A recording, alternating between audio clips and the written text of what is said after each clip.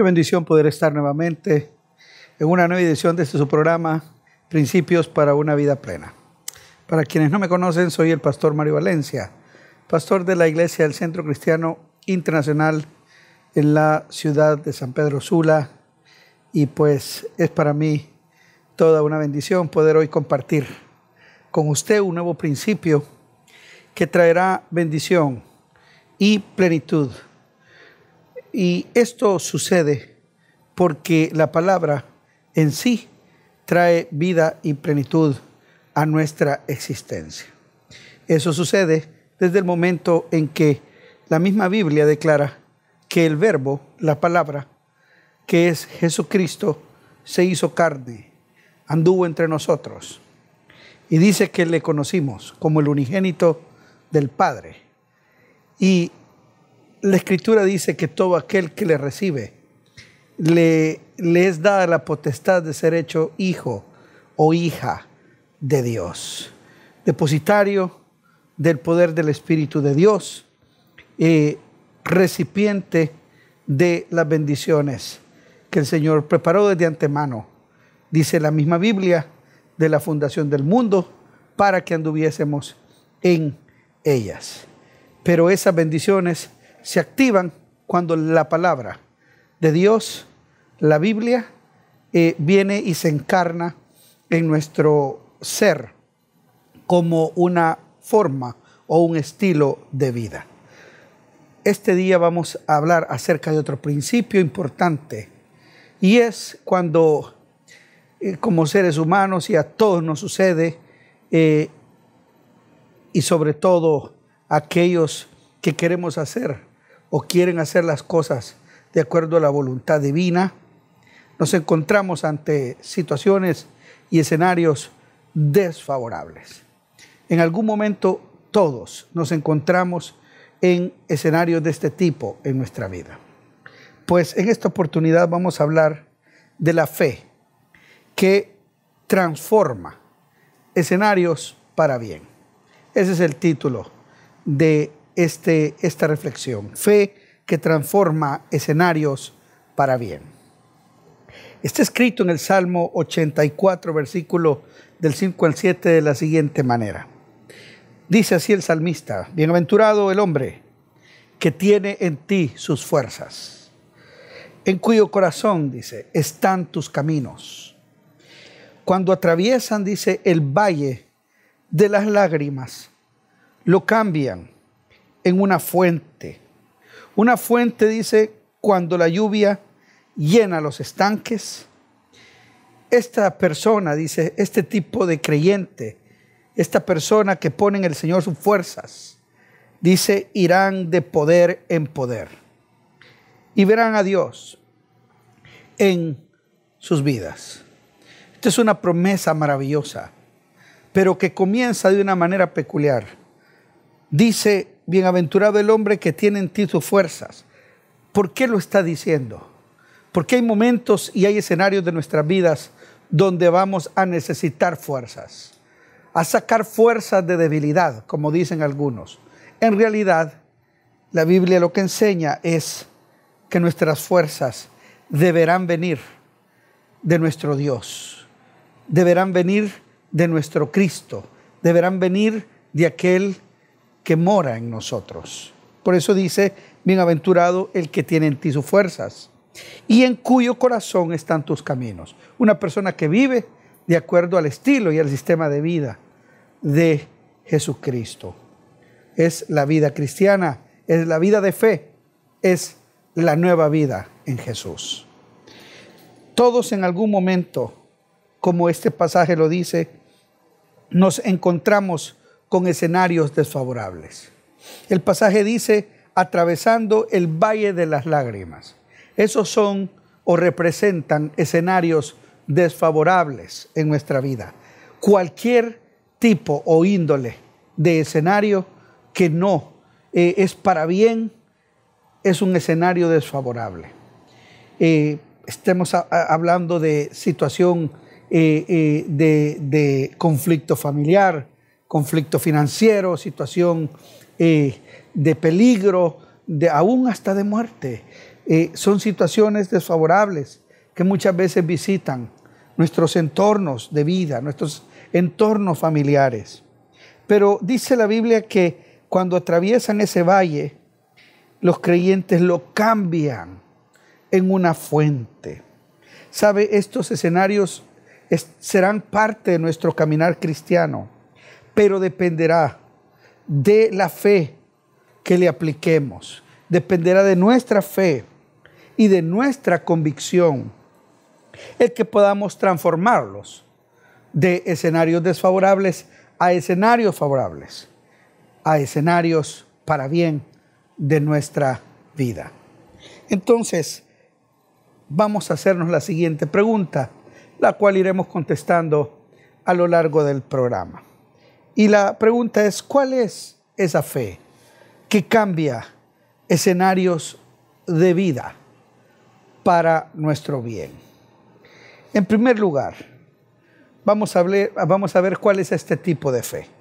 Es la fe, en primer lugar, que sabe hablar la vida de Dios.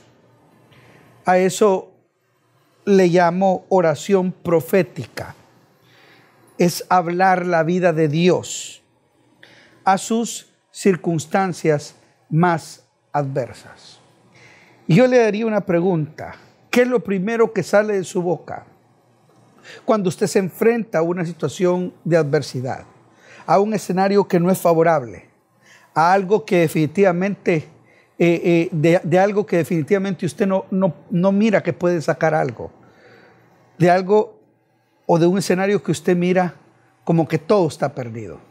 Es bien importante saber qué es lo que sale de nuestra boca ¿Por qué? Porque la misma Biblia dice que de la abundancia del corazón habla la boca. Entonces, nosotros necesitamos tener mucho cuidado con aquello que emana de nuestro corazón y aquello que hablamos. Por ejemplo, cuando se le presenta a usted un reto difícil, cuando usted se le presenta el hacer, por ejemplo, una gran inversión, por algo justo, por algo correcto, por algo necesario, por algo bueno. Y lo primero que usted dice es, ah, es que va a costar tanto. Creo que no se puede. O no es el momento porque va a costar esto, porque está difícil, porque la situación no, no, no, no está bien. Y de esa manera nosotros podemos estar hablando negativamente o estar hablando de manera que eso se convierte como en antife. Tenga mucho cuidado, porque hay veces ante los escenarios desfavorables, realmente lo que necesitamos es hablar con fe, hablar la vida de Dios, lo que Dios quiere. Hacia eso que nosotros estamos viendo como un escenario favorable, que se debe convertir en algo para bien eh, de la vida de uno, de la familia de uno.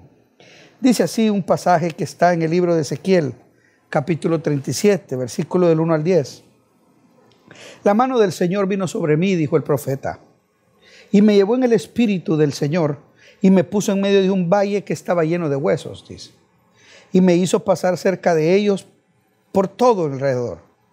Y aquí que eran muchísimos sobre la faz del campo, dice y por cierto, secos en gran manera. Y me dijo, hijo de hombre, ¿acaso vivirán estos huesos? Y yo le dije, Señor, tú lo sabes. Entonces me dijo, profetiza.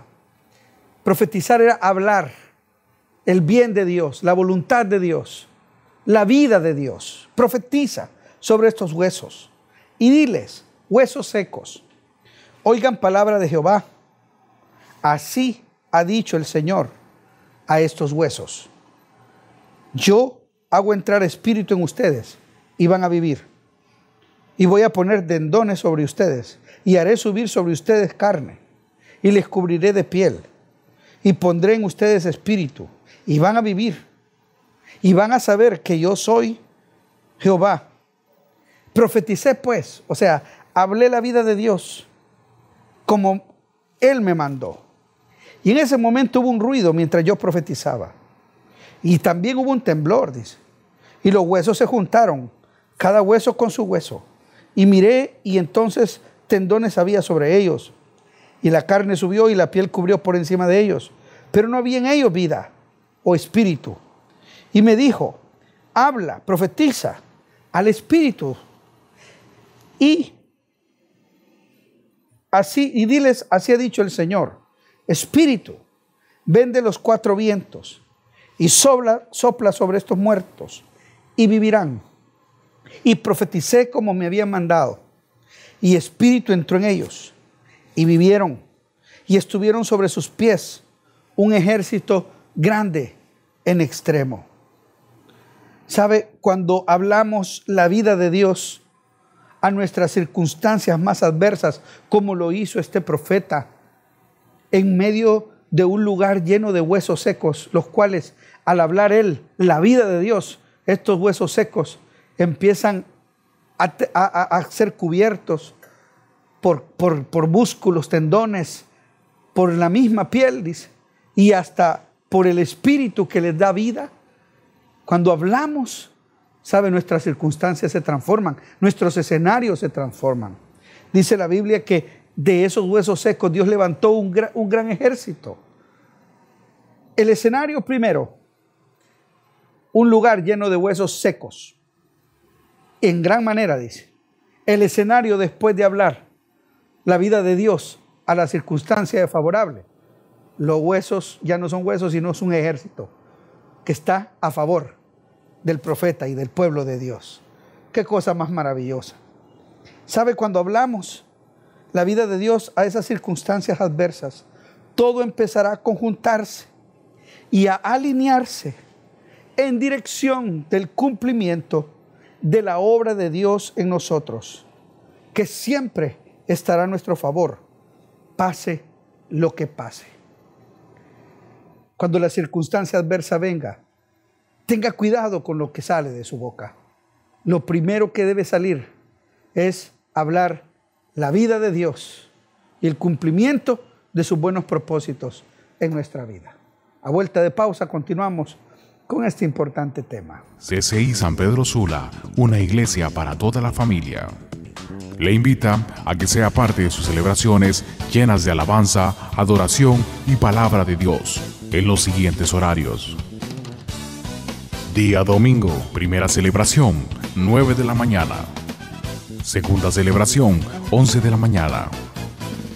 Tercera celebración, 5 de la tarde. Día miércoles, celebración de oración, 7 de la noche. Día sábado, amanecer con Jesús, 5.30 de la mañana. Día sábado, Celebración de jóvenes, 5.30 de la tarde. Visítanos, estamos ubicados en Colonia Trejo, 9 calle, 21 avenida, contigua al IDE. Para más información, ingresa a www.ccisanpedrosula.org. Somos CCI San Pedro Sula, una iglesia para toda la familia.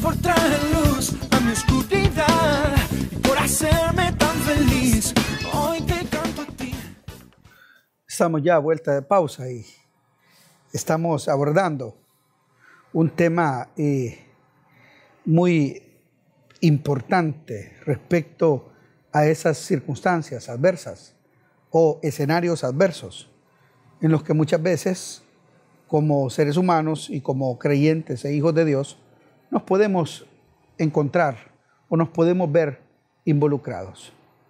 Esto es justamente lo que pasaba en el pueblo de Dios cuando se escribió el Salmo 84, versículos 5 al 7. Dice así la escritura, bienaventurado el hombre que tiene en ti sus fuerzas, en cuyo corazón están tus caminos. Cuando atraviesan el valle de las lágrimas, dice, lo cambian en fuente, lo transforman en fuente. Fuente como cuando la lluvia llena los estanques. Irán de poder en poder y verán a Dios en sus vidas. Este pasaje nos declara justamente lo que hoy estamos abordando. La fe que se requiere para cambiar escenarios desfavorables. Eso es lo que estamos eh, abordando en esta oportunidad.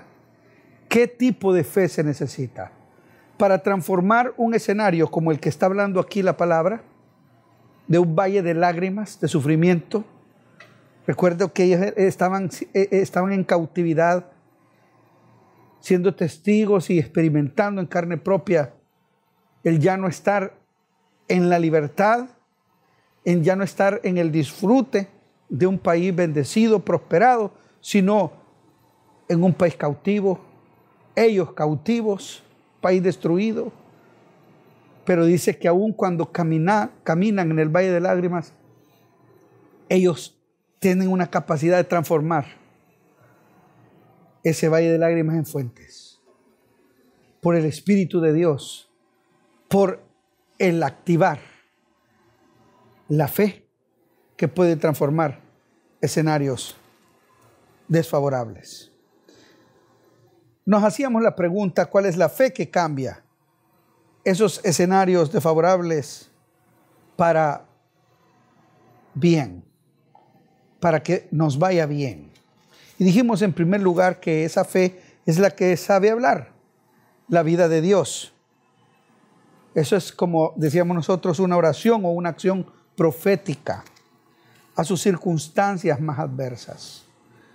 Y es que Dios nos ha dejado, como dice la misma Biblia, la profecía más certera, la profecía más segura, y que es la misma Biblia.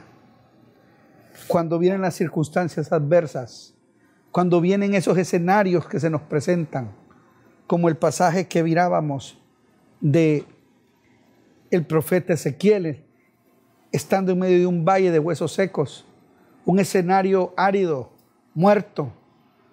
Él empieza a hablar la vida de Dios a aquellos huesos, porque Dios le ordena hacerlo. Y esa palabra dice que trae vida a esos huesos, levantándolo y convirtiéndolo en un gran ejército a favor del pueblo de Dios y a favor del profeta. Pareciera una metáfora, pero no. Es una realidad.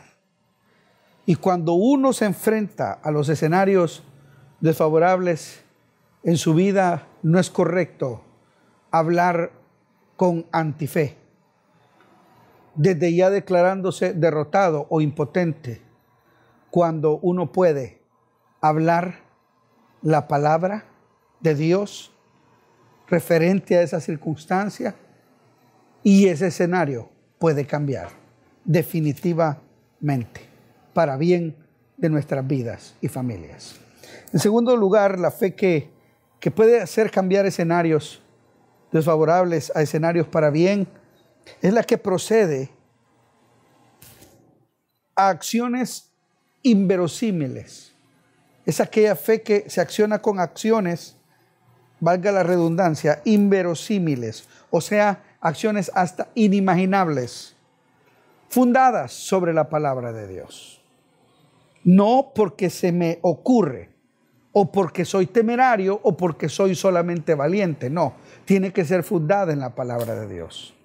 En el libro de Mateo, capítulo 9, versículo 20, dice de la siguiente manera, He aquí, dice, hablando de una historia, una mujer enferma de flujo de sangre desde hacía 12 años, dice.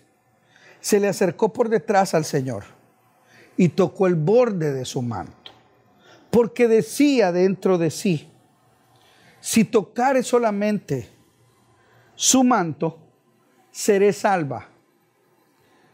Pero Jesús volviéndose y mirándola le dijo, ten ánimo, hija, tu fe te ha salvado. Y la mujer fue salva desde aquella hora. ¿Sabe? Este es un pasaje que se repite en otros evangelios a donde se le ponen otros detalles. Uno de ellos es que ella había gastado todo lo que tenía en médicos. Otro es que eh, ella tocó al Señor mientras muchos lo tocaban a él, lo apretaban y el Señor identificó que alguien había podido sacar poder de él. Entonces, juntando todo eso, vamos a ver que esta mujer accionó haciendo un acto inimaginable, inverosímil. Ella, por su enfermedad y de acuerdo a lo establecido en la ley, no podía tocar a nadie ni estar cerca de nadie porque ella se consideraba una persona inmunda. Y a quien esa persona tocaba se consideraba también inmundo. Entonces, ella no podía tocar a nadie, y mucho menos a un maestro, a un hombre santo, a una persona llamada de Dios. Pero ella hace una acción inimaginable basada en una palabra. Ella sabía que Él era el Mesías. Ella sabía que Él era el anunciado de los profetas. Ella sabía que Él era el que podía sanar su enfermedad. Y la escritura dice que ella tocó el manto. Tocó al maestro. ¿Sabe lo más inimaginable que esta mujer podía hacer? Fue lo que exactamente hizo. Tocó el manto del maestro. ¿Sabe qué podía significar esto? Lapidación inmediata y la condenación de todo el pueblo. Pero a ella no le importó. Hizo la acción basada en lo que la profecía hablaba de él. Y tuvo fe en eso. Y dice la Biblia que a partir de ese día su enfermedad terminó. Esta mujer vivía un escenario realmente trágico, pero decidió cambiarlo, haciendo una acción de fe, fundada en su fe en el Mesías, el Hijo de Dios, el mismísimo Dios de sus padres, el que todo lo puede. Cuando dijo, si tan solo tocara el borde de su manto. En tercer y último lugar, la fe que puede transformar escenarios desfavorables es la que no se limita a sí misma en su propia capacidad. Hay una historia que está en la escritura y es en Primera de Samuel capítulo 17, versículo 38 en adelante. Dice que Saúl vistió a David con sus ropas y puso sobre su cabeza un casco de bronce. Y es cuando el, el gigante Goliat arremetía contra el pueblo de Dios para insultarlo y humillarlo. David se propone como paladín y lo están vistiendo con la armadura de Saúl. Lo armó de una coraza, ciñó David su espada sobre su vestido, dice, y probó a andar, porque nunca había hecho la prueba. Le dijo David a Saúl, yo no puedo andar con esto, porque nunca lo practiqué.